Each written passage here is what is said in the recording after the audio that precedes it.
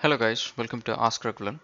Today we're going to see quickly um, a difference between uh, Camtasia and Pinnacle Studio and uh, it's not an in-depth comparison, it's just going to be um, uh, my my view of um, you know how they weigh against each other. So just quickly running through uh, this is uh, Pinnacle Studio and this is Camtasia. So I have both the software, So um, so what is the purpose of me having both of these softwares is like Pinnacle. I had it um, few years ago, and it's it's it's cheapest of the block, and you also get a perpetual license. So that's one way Pinnacle ways high, uh, ahead of uh, is is way ahead of other softwares. The other softwares you you have to commit to every year that you have to start paying sort of like a subscription fee. Uh, whereas with uh, Pinnacle, pretty much you stay you can stay with the current version as long as you like it, and uh, it it does all the things uh, that you want to achieve. And um, so if you compare it against Premiere Pro and uh, other other video editing softwares so they're not going to be uh, Pinnacle is not going to be as good as them but it does a lot of those things. So now quickly um, getting into Pinnacle Studio interfaces you you go here and you create a new project. And um, so the view of this software is similar to what you have for uh, Camtasia as well. So you get to see the uh, let me maximize this one. Uh, so that's the navigation panel that you see here where we have all the effects and uh, all the assets that you can add to your um, project. And then uh, that's actually the browser. And then you see a preview window here and then import export options. And then this is your, all your uh, AV tracks. And this is all the controls that goes for the AV tracks and then your timeline and uh, some of the other controls that goes up here as well so the navigation you can drag and drop a lot of effects like transitions and things like that so this is all pretty easy and nice uh, whereas with Camtasia, um, so you go and create a new project and you get a blank project here. So the navigation is right up here. It's similar to Pinnacle, so nothing too much of a difference here.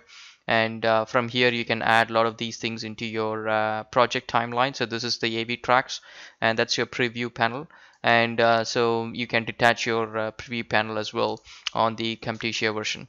And once you're done with that um, you can select a portion of it or the whole video and then you can export it to a local file or YouTube or any of those sources. The same way here you can export it and then um, you can export it into a particular um, uh, format and things like that. So this also gives you a whole bunch of options here as well.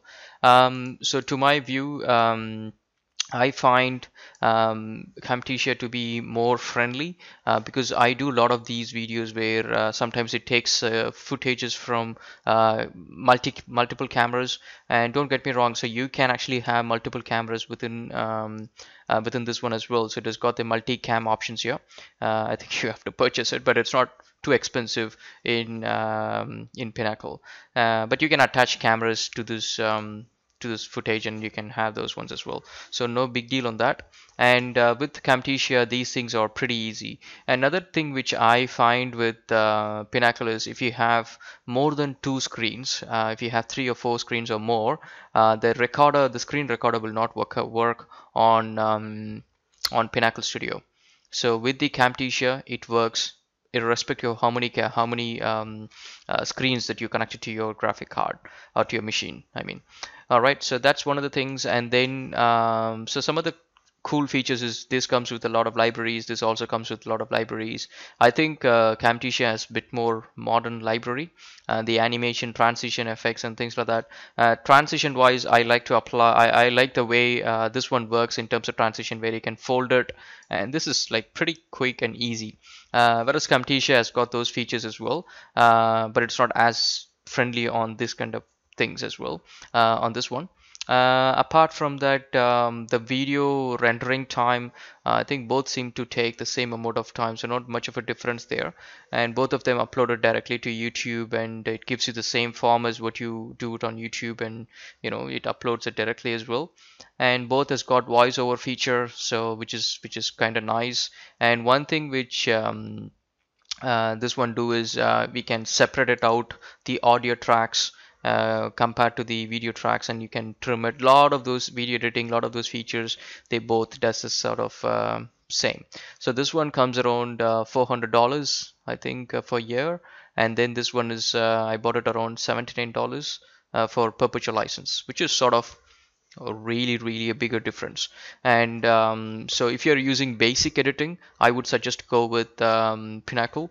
And um, if you if you want to do a lot of videos and things like that then Camtasia is good. Camtasia is good if you're doing educational videos screen recording and if you want to combine with multiple cameras and a lot of those things Camtasia is best. Um, so but again the cost factor you need to consider as well to see which is um, which is suitable for you. All right thanks for watching guys. And if you have any questions uh, just put it forth. And I'm happy to answer. Thanks guys